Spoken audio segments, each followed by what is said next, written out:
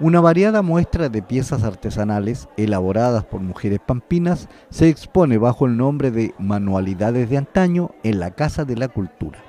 La iniciativa de la Corporación Hijos del Salitre contó con el respaldo de la minera SQM para establecer otro testimonio de la vida en la época salitrera. Lo pensamos primero así como un taller nomás, pero la verdad es que hemos tenido harto éxito, ha un montón de gente, gente que saca fotos, que pregunta, y yo creo que con eso estamos haciendo lo que nosotros como Corporación Hijo Salitre siempre estamos pregonando, que la pampa nunca muera,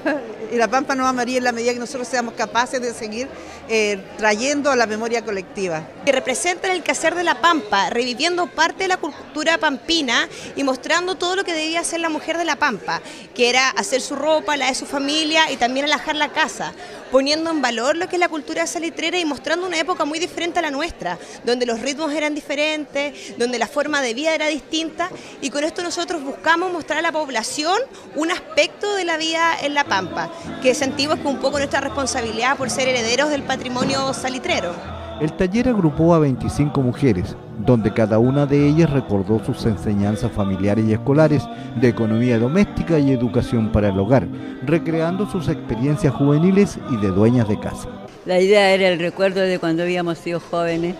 cuando éramos niñas y cuando nuestras madres se preocupaban de enseñarnos nuevas cosas cuando nos juntábamos a rezar, después lo sentábamos a tejer y tejíamos lana, hilo, para entretención y para aprendizaje. Y al mismo tiempo nos acordábamos de lo ajeno.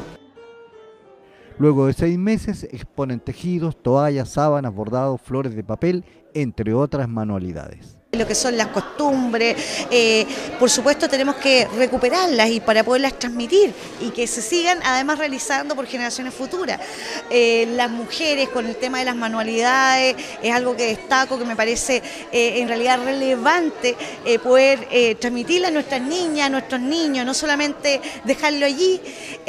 así es que por supuesto que el Servicio Nacional de la Mujer está presente porque nos interesa seguir fomentando, trabajando estratégicamente con las distintas organizaciones